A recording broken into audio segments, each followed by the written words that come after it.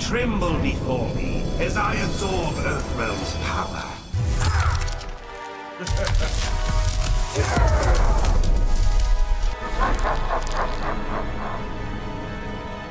Final round. Fight.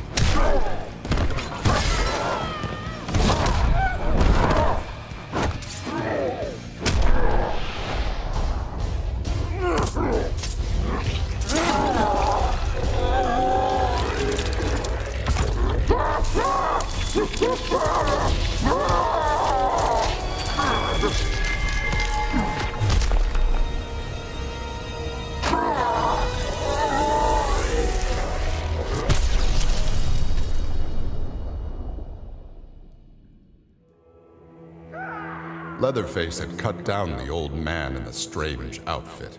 Maybe now that he was dead, the pretty yellow haired gum chewing girl would notice Leatherface. Putting on his fanciest mask, Leatherface found the army camp where the pretty girl could be found most days. He had to cut through a few guards and more than a few of her friends to get to her, but it was worth it. He pulled out the old man's face, which he'd saved for the girl as a present.